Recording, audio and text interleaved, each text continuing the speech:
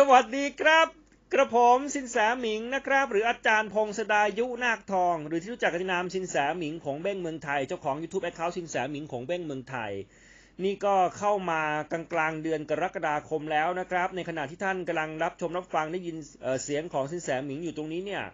ตรงกับวันที่ 18 นะครับ 18 กรกฎาคมมีอยู่ 2 ลัคนาราศีนะครับที่ในช่วงนี้รายจ่ายจะเยอะมาก จุกจิกชิบหายเลยครับ เรื่องเงินเรื่องทอง บางทีก็ถูกหยิบยืมเงินนะครับ บางทีการเงินก็ตึง ตึงตึงตึงตึงตะลึงตึงตึงนะครับ การเงินมันตึงนะครับ รายจ่ายเยอะบางคนก็ช้อปปิ้งหนักมากในช่วงนี้ หรือบางคนคือถูกยืมเงินแล้วก็จำเป็นต้องให้แบบไม่ทันตั้งตัว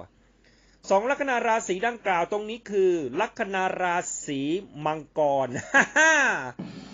แล้วก็ลัคนาราศีพิจิก การเงินจะตึงทั้งคู่ครับ ในช่วงจังหวะตรงนี้นะครับ หรืออย่างที่ผมบอกคือจู่ๆก็จะมีเรื่องที่ต้องใช้จ่ายเงิน มีคนมีคนมาหยิบยืมเงิน วุ่นวายในเรื่องการเงินนะนะครับ แต่ก็จะบอกให้รู้ว่านะครับวันนี้วันที่ 18 กรกฎาคม เดี๋ยวรอบวงโคจรของดาวตรงนี้ก็จะผ่านไป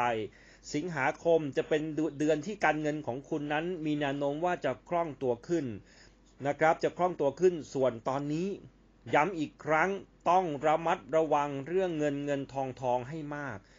มีโอกาสเสียเงินหรือตึง การเงินตึงนะครับ มีความรู้สึกว่าชักหน้าไม่ถึงหลังนะครับ เออนะครับ และนี่คือลัคนาพิจิกกับมังกรในช่วงนี้ แต่อย่างที่บอกนะครับ เดี๋ยวสิงหาคมจะเริ่มขยับดีขึ้นแล้ว ไม่ต้องไปกังวลอะไรมากมายนักหรอกนะครับ เพียงแต่ ควบคุมรายจ่ายตอนนี้ให้ดีสักนิดหนึ่งก็แล้วกันนะครับ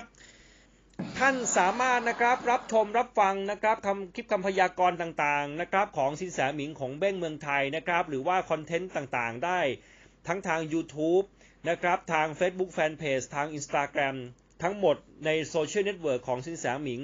ใช้ชื่อว่าสินแสหมิงขงเบ้งเมืองไทยนะครับ ก็ขอให้ทุกท่านโชคดีมีความสุขอย่าลืมนะครับ มังกรพิจิกตอนนี้การเงิน ตึง ตึงตึงตึงตึงตะลึงตึงตึงฮ่าฮไปก่อนครับ สวัสดีครับ เดี๋ยวสิงหาไปก็จะดีขึ้นแล้ว ใจเย็น การเงินจะดีขึ้น